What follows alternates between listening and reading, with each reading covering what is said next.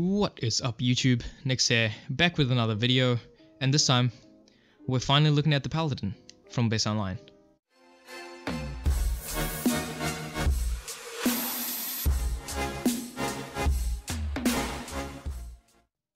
Alright, so, some of you guys will probably already know this, I'm not a big fan of healing classes in like any MMO.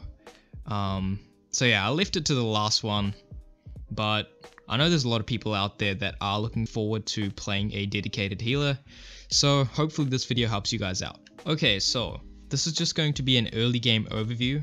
Um, like always, it's going to be in the same format as all the other uh, class overviews that I've done. And yeah, uh, I'll only be doing an early game overview. Um, I don't want to get burnt out and play like each class to max in the Japanese client. Plus, the game is going to launch in less than a month's time from now, so with that being said, let's get into it. So the Paladin is a melee DPS spec, and it uses a shield and a mace to deal damage. Uh, it's considered the healing class of Bless, along with the Mystic, but from what I've read online and just generally being in game, it is a class that is focused on single target healing. Um, on the forums, I've heard a lot of people say that the Mystic is the class that you'd want to play if you want AoE heals and things of that nature. So, as of right now, the Paladin should serve as a single target healer. And yeah, it should be the one that you should pick for 3v3s and not large scale PvP, right? Small scale PvP, you go for usually a Paladin. And obviously, when you're looking at 100v100, mystics are going to play a much better role when it comes to healing. In terms of damage, um, they do like sufficient amount of damage, like just enough to get through questing and stuff. It's not amazing. Uh, however, they do make up for it uh, with a lot of healing, obviously. Um, and that's kind of how like all these classes go, right? If you have a high DPS class, it's obviously not going to have a lot of utility when it comes to healing or CCs. But as you go down the DPS scale, your healing and your defense kind of goes up to make up for whatever damage that you could potentially deal. So as we get down to classes like the Mystic and Paladin, obviously the damage outputs are going to be uh, much, much, much lower than uh, what you'd expect from a mage or, or, a ranger. Um, so yeah, I would put it, at least in the early game, their damage would be about 70% of the type of damage that a guardian deals. Um, but this is again in the early game, so doesn't really indicate how they're gonna play out late game. Now, in terms of playstyle, um, what I've seen in game, uh, most of the abilities are damage dealing abilities, which kind of makes sense, right? You want to be able to get through all of the leveling with just doing sufficient amounts of damage. Um, so the early game skills aren't really indicative of how they're going to play out at end game. But from what I've read online, most of the skills that are in the other trees do revolve around single target healing. So yeah, you will be the healer for the most part. In terms of the type of damage that you deal, uh, majority of it is single target, but you do have a couple of abilities that have a chance of resetting their cooldown, so they're kind of spammable, and others which are just flat, really large AoEs. Um, they don't do a lot of damage, the AoE abilities, but um, hey, I guess it's still spread pressure regardless, right? If you're doing damage to five enemies, then if you're in like a big PvP situation, that is quickly going to add up. Considering the fact that um, the AoE skill is spammable as well. It's only restricted by mana and not cooldown. So that's kind of going to be it. You're just going to be staying back, healing people up. Um, yeah, in terms of mobility, you kind of lack it from what I've seen. In fact, you don't really have a ability that allows you to um, move in and out of combat quickly. You kind of just walk around or run around slowly for the most part. When it comes to armor, the paladins do wear uh, plate armor, so they are going to be pretty tanky when it comes to the amount of damage they can take. So yeah, that's the kind of trade-off that you're making. Can't really deal damage, but you kind of make up for it when it comes to um, damage mitigation, so to speak. When it comes to class availability, they can be played by all the races in the game, so no discrimination there, I guess. Okay, so before I get into the skills, um, I want to let you guys know that again, just like the other videos, um, I won't be leveling each class to max. This is going to be an early game impression. It's just to give you guys, you know, a quick rundown on how the class kind of plays out, give you guys a general feel of the class, and yeah, just let you guys see the skill animations and all that jazz. So hopefully it gives you guys a good idea of how the class would play. And yeah, not leveling them to max. I'll be doing full guides once we get a NA release. So with that being said, let's get straight into the abilities. So your first ability is going to be blow. Um, it's going to serve as your right click. And yeah, it's a pretty simple ability. It chains into um, hit and then swing.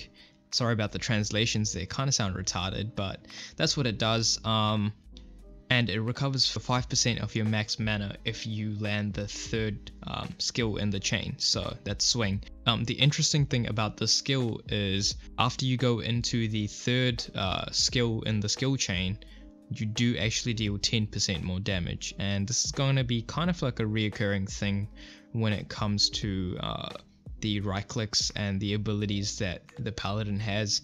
They have a lot of um, damage increasing buffs built into quite a lot of their skills. So yeah, that's your right click. So next up we have Endure. This is going to serve as your mobility skill. Um, not really a mobility skill when it comes to the paladin though. What it is is basically a cleanse as well as you just basically put up a shield that mitigates uh, most of the damage. Um, so what the skill actually does is on activation it consumes 30 energy and if you hold on to the skill, so if you keep pressing the button down, um, it consumes 10 energy per second. Um, and during that time, you heal yourself by X amount, um, depending on the level of this ability and your character level. While you have this activated, even if you just press it, um, all current CCs will be lifted and during its animation, if any CCs are applied to you, they'll also be mitigated. And yeah, uh, this is kind of the only healing ability that you get early game. I really like the animation of it. Um, I feel it's much better than the Guardian's um, shield ability. But yeah, that's just my opinion. Looks cool. Um, so yeah, that's going to be your only healing ability, um, at least in the early game. Okay, so next up we have Punish. This is going to be your first uh, low cooldown ability, which deals a decent amount of damage. Again, nothing on par with even the Guardian, but it's a damage ability regardless. Um, along with the damage that it deals, um, if the enemy has a debuff called Chains of Punishment, they will receive an extra 10% additional damage from Punish. And if the enemy has Doom or Shred on them as a debuff, this effect can actually spread to nearby enemies, um, which is again something different that kind of haven't seen with the other classes. And yeah, it's got a pretty low cooldown of 5 seconds. In terms of animations, it's basically just an overhead swing, nothing too fancy. And yeah, that is going to be your low cooldown damaging ability. Our next ability is Judgment. So this one was kind of interesting. It's a ranged ability um, yeah, it's got an effective distance of 25 meters, which is pretty damn far, and it basically just launches a beam of light um, onto your enemy, uh, dealing a decent amount of damage. And enemies that have stigma or sentence will have doom applied to them for 10 seconds. This doom debuff can stack up to 3 times and it lasts 10 seconds. So this is the ability you kind of want to start out with when it comes to combos. Apply this and then Punish is obviously going to do that 10% extra damage since you have Doom applied to your enemies. Another cool thing about Judgment is the fact that it's got a 7% chance of resetting its cooldown.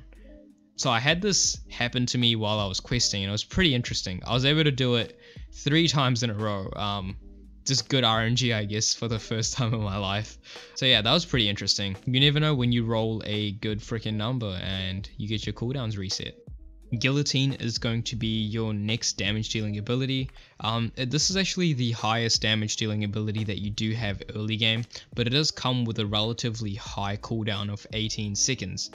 Um, so once you attack the enemy, it again deals a decent amount of damage, and the enemies that have Stigma or Sentence will have Shred applied to them. So I'm guessing Stigma is probably a a debuff that you get from another ability uh, from one of the other skill trees. So the ones that do have that will get Shred applied to them for 10 seconds and Shred can be stacked 5 times, so you'll consistently deal physical damage to them.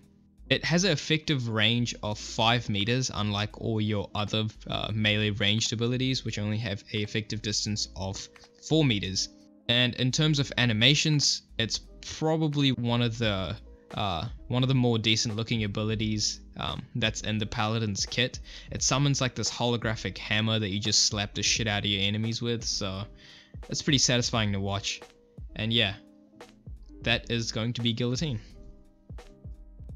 And as your last ability, you have Punishment. Um, so this is going to be your first AoE ability that you get, and it's a pretty large AoE. Um, it does damage to enemies um, within a 5 meter radius around you, and yeah, enemies with Doom receive 10% extra damage. So, again, um, as I mentioned earlier, Paladin, when it comes to damage, you kind of have to build up all these debuffs and use an ability like Punish or uh, Guillotine to get way more damage output. Uh, the interesting thing about this ability is the fact that it has no cooldown. Um, it's only limited by your mana consumption, which is not very much. It it only uses 8% of your mana plus 20 MP more, which isn't a lot. You can kind of spam this again and again. It's one of the more interesting looking abilities. Again, it works like the Guardian's Ground Pound. Um, in terms of animation, it's pretty cool looking. Um,